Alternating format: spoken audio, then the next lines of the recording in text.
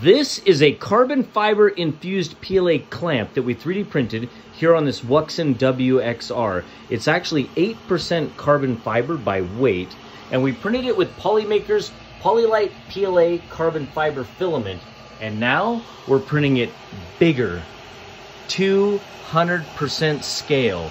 You're gonna wanna see it finished. Give us a follow or subscribe.